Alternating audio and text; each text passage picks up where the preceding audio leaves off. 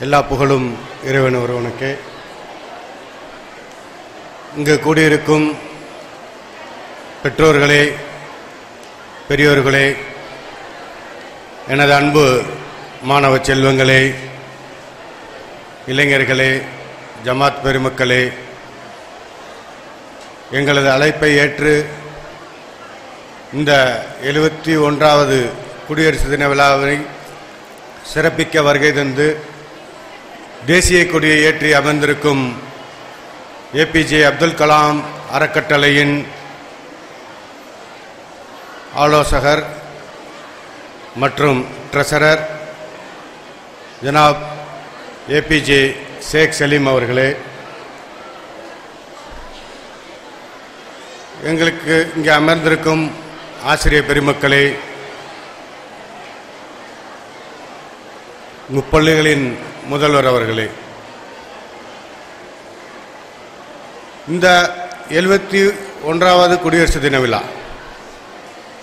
இது ஒரு இன்றைய நம்ம ஷேக் சா சலீம் சார் சொன்ன மாதிரி டுவெண்ட்டி டுவெண்ட்டி அந்த இருபது இருபது வந்து ஒரு அவரே ஒரு கலாம் சார் வந்து சொன்ன மாதிரி டுவெண்ட்டி டுவெண்ட்டி ஒரு முக்கியத்துவம் வாய்ந்த வருடம் என்பதை அன்றே அவர் விளங்கிதான் அந்த இருபது இருபதை நோக்கி ஒரு புத்தகத்தை எழுதி அதே போன்று விங்ஸ் ஆஃப் ஃபயர் என்ற ஒரு அருமையான புத்தகங்கள் இளைஞர்களுக்காக மாணவர்களுக்காக ஒரு படைக்கப்பட்ட புத்தகம். இன்றைய சூழ்நிலையில் நாம் குடியரசு தின விழாவை கொண்டாடும் இந்த நேரையில் சுதந்திரம் பெற்று நமது இந்திய நாட்டின் அடிமை இந்தியாவை நமக்காக போராடி வெள்ளையர்களிடம் போராடி பிரிட்டிஷ் அரசாங்கத்தை எதிர்த்து போராடி பல இன்னுயிர்கள் இழந்து பல தியாகங்கள் செய்து நாம் சொத்துக்களை இழந்து வாழ்வுரிமைகளை இழந்து மக்களை இந்த சமுதாயம் இந்த இந்தியா விடுதலை வர வேண்டும் என்று நமது முன்னோர்கள் ஜாதி மதம் பார்க்காமல் அனைவரும் ஒன்றுபட்டு எப்படி நாம் பள்ளி மாணவி அல்மசா உரையாற்றியது போன்று வேற்றுமையில் ஒற்றுமை கன்ற இந்தியாவை நாம் பெற்றோம். அப்படிப்பட்ட இந்தியாவை நாம் ஒரு பொருளை ஒரு லட்சியத்தை ஒரு நோக்கை அடைந்து விட்டோம் என்றால் அத்தோடு நின்று விடக்கூடாது. உண்மையான சுதந்திரத்தை பெற்று விட்டதற்கு அப்புறம் அதை தக்க வைத்துக் கொள்ள வேண்டும். ஒரு பொருளை கிடைத்து விட்டால் ஒரு பதவியை கிடைத்து விட்டால் நாம் ஒரு லட்சியத்தை அடைந்து விட்டால் அந்த லட்சியம் அந்த நோக்கம் கடைசி வரைக்கும் அதை நாம் உறுதியுடன் செயல்படுத்த வேண்டும் தக்க வைத்துக் கொள்ள வேண்டும். அந்த அளவில் இந்தியாவை இந்தியாவின் வளர்ச்சியை இந்தியாவின் மாணவர்களின் கைகளில் இந்தியா இருப்பது என்பதை உணர்ந்து நமது முன்னாள் குடியரசுத் தலைவர் டாக்டர் ஏபிஜே அப்துல் கலாம் அவர்கள் அந்த இந்தியாவை வளர்ச்சிக்காக விட்டு சென்றார். வளர்ச்சியை நோக்கி எடுத்து சென்றார்.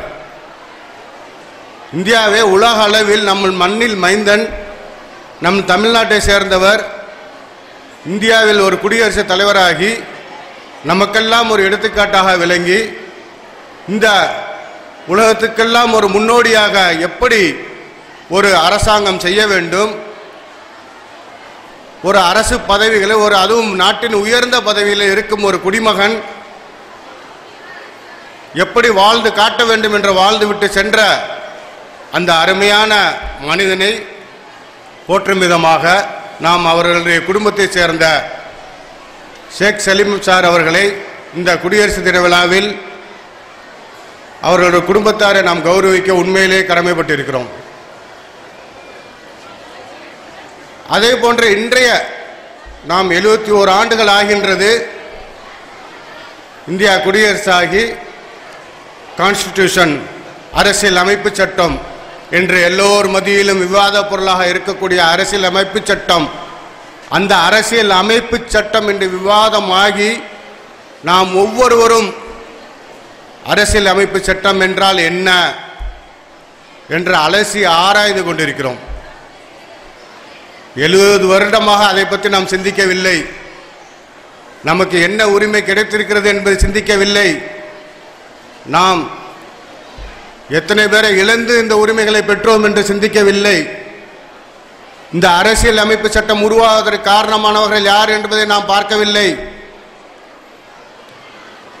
அண்ணல் அம்பேத்கர் அவர்களின் தலைமையில் அந்த ஏழு பேர் கொண்ட டிராஃப்டிங் கமிட்டி அந்த ஏழு பேர் கொண்ட கமிட்டியில் எத்தனை முஸ்லீம்கள் இருந்தார்கள் யார் யார் இருந்தார்கள் என்பதை யாரும்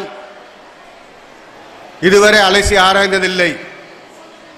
ஜாதி மதம் பார்க்காமல் அனைத்து ஜாதிகளையும் உள்ளடக்கி அனைத்து மத தலைவர்களையும் உள்ளடக்கி அருமையான ஒரு கமிட்டியை அமைத்து அழகான ஒரு அரசியல் அமைப்பு சட்டத்தை நாம் உருவாக்கிய நாள் ஆயிரத்தி தொள்ளாயிரத்தி ஐம்பது. ஜனவரி இருபத்தி ஆறு. அந்த அரசியலமைப்பு சட்டம் நமக்கெல்லாம் என்ன சொல்லுகிறது? ஒரே ஒரு விஷயம். நம் அனைவருக்கும் குடியுரிமை வழங்க அது உறுதி செய்தது. நாம் எல்லோரும் இந்திய மக்கள். இதுதான். ரொம்ப சிம்பிள். அதை பெறுவதற்கு எவ்வளவு பேர் போராடினார்கள்? எத்தனை பேர்? மடிந்தார்கள் மாண்டார்கள்.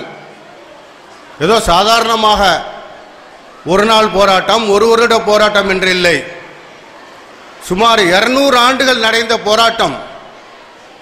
இன்று கொடி பிடித்து இன்று போராட்டம் பண்ணி நாம் வெற்றி அடைந்து விடுவோம் என்று நிறைய பேர் நினைத்து கொண்டிருக்கிறோம். இருநூறு ஆண்டுகளாக நாம் அந்த சுதந்திர காற்றை சுவாசிப்போமா என்று தெரியாமலே போராடினார்கள். நாம் இந்த சுதந்திரத்தை பெறவில்லை என்றாலும் நமது சந்ததியினர் உண்மையான சுதந்திர இந்தியாவில் வாழ வேண்டும். பயமில்லாமல் வாழ வேண்டும் என்ற ஒரு தொலைநோக்கு சிந்தனையோடு ஒரு உணர்வோடு போராடி இந்த அருமையான சுதந்திரத்தை நமக்கு பெற்று தந்தார்கள். அப்படிப்பட்ட தியாகிகள் இதை நாம் நாட்டை இந்திய நாட்டை நமக்கு உரிமையான நாட்டை கைப்பற்றிய வெள்ளையர்கள் அந்த சுதந்திர போராட்ட வீரர்களை அன்று அவர்களுக்கு அடையாளம் காணப்பட்டு அவர்களுக்கென்று ஒரு அடையாளம் என்ன என்றால் நமது சுதந்திர போராட்ட வீரர்கள் அன்று தேச விரோதிகள் என்று முத்திரையிடப்பட்டார்கள். அன்று போராடியவர்கள் அன்று அந்த வெள்ளைக்காரன் சொல்றான் நம் நாட்டை அந்நிய நாட்டிலிருந்து நம் நாட்டை கைப்பற்றிய வெள்ளைக்காரன் நம்மை பார்த்து சொல்கிறான் தேச விரோதிகள் என்று. ஆனால் காலம் மாறியது. அந்த துரோச விரோதிகள் தேச தந்தைகளாக நாம் இன்று போற்றப்படுகிறோம். மகாத்மா காந்தியை தேச விரோதி என்று சொன்னான். ஆனால் இன்று என்ன ஆனார்? தேச தந்தை என்று எல்லோரும் அவர் மறைந்த பிறகும் பல ஆண்டுகளாக நாம் போற்றப்படுகிறோம். நீ இப்போது என்னவா இருக்கிறாய் என்று முக்கியமில்லை. நாளை உனக்கு உன்னை சரித்திரம் சொல்ல வேண்டும்.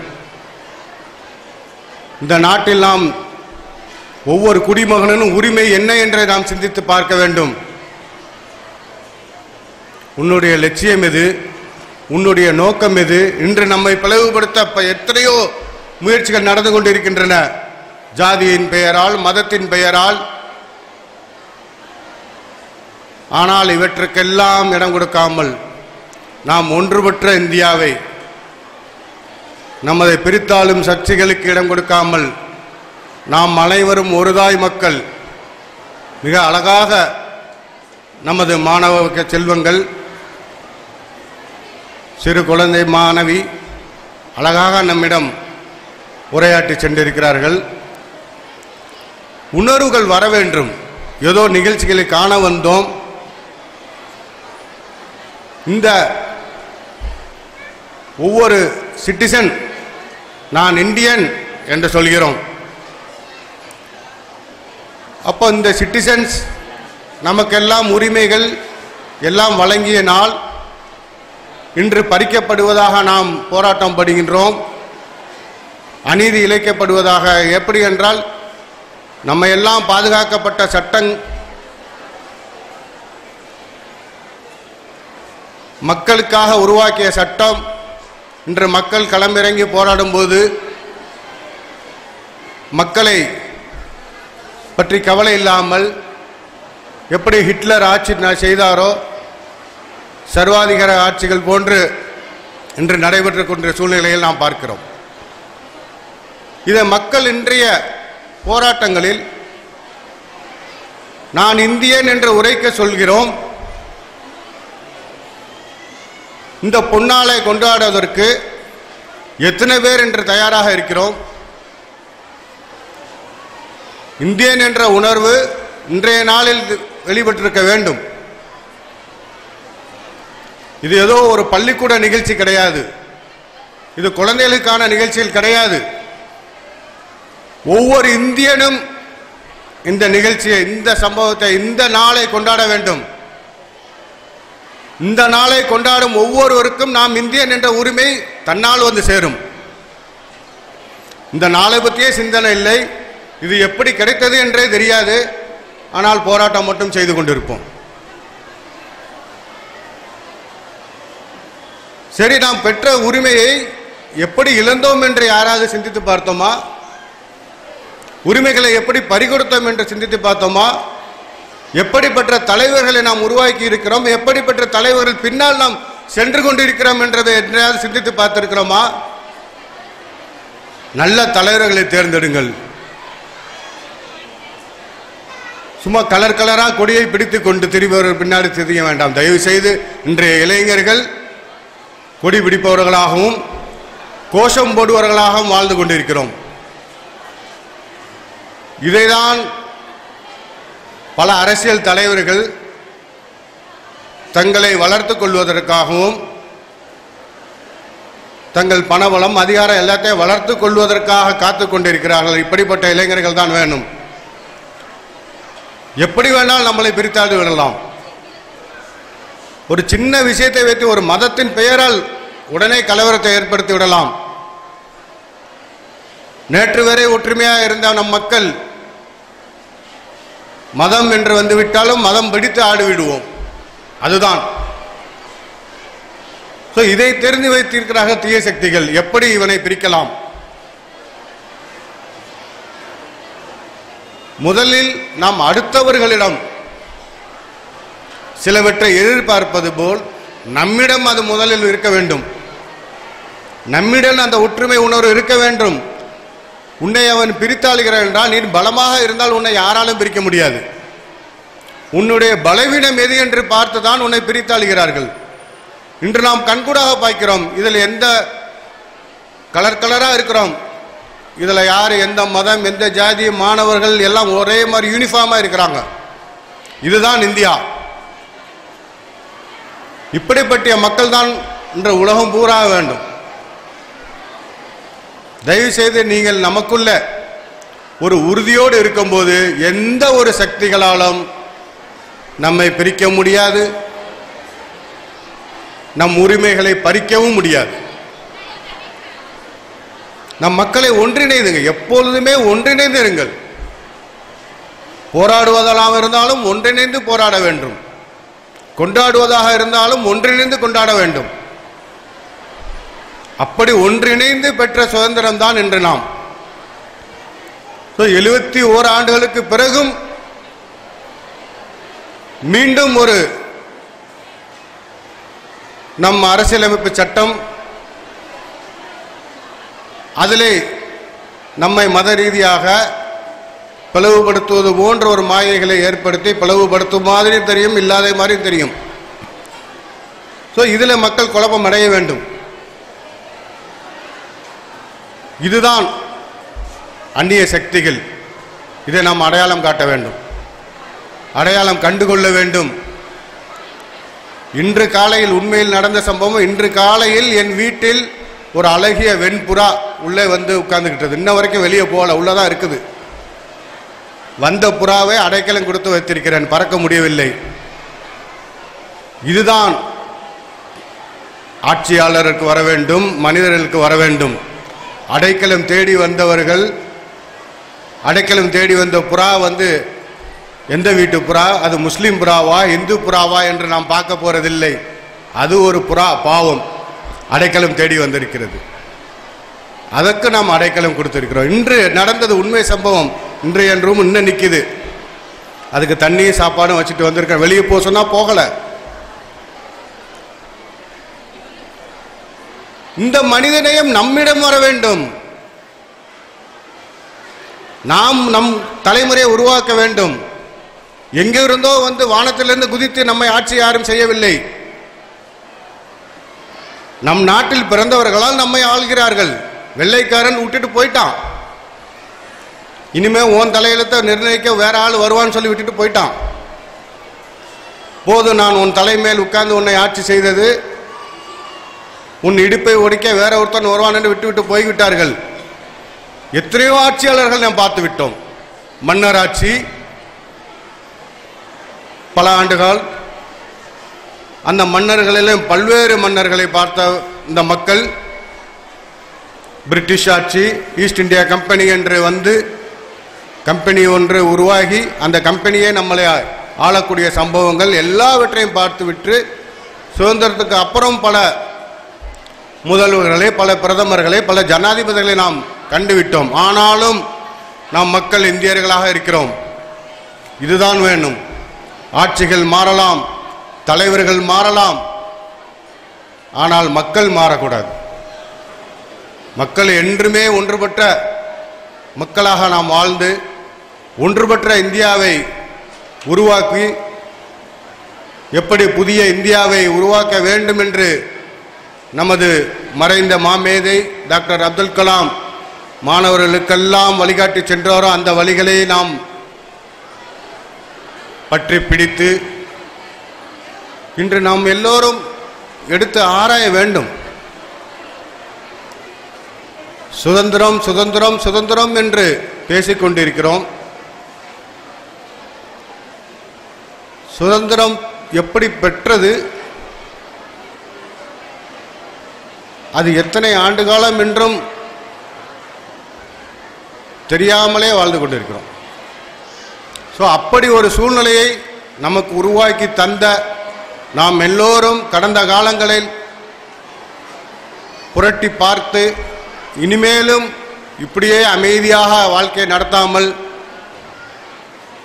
நாம் நம் சமுதாயத்துக்காக இந்த நாட்டுக்காக உறங்கி கிடக்காமல் எழுந்து வீருடன் செயல்பட வேண்டிய நேரம் வந்துவிட்டது என்பதுதான் இந்த விஷன் 2020 நம்மை உணர்த்துகிறது என்பதை இந்த தருணத்தில் நான் உங்களுடன் சுட்டிக்காட்டி இனி வருங்காலங்களில் இதே போன்று நாம் எல்லோரும் ஒற்றுமையுடனும் எந்தவித மோதல்களுக்கு இடம் கொடுக்காமல் நாம் அனைவரும் ஒருதாய் மக்கள் என்பதை உணர்ந்து ஒருவருக்கொருவர் அமைதி அன்பு இவைகளை பரிமாறிக்கொண்டு நாம் ஒன்றுபற்ற இந்தியாவை உருவாக்கி வெற்றி கொள்வோம் என்பதை உறுதி கூறிய இந்த நேரத்தில் உங்களிடம் கூறி விடைபெறுகிறேன் நன்றி ஜெய்ஹிந்த் Wow, you really give us an enlightening message to all of us, sir. Thank you.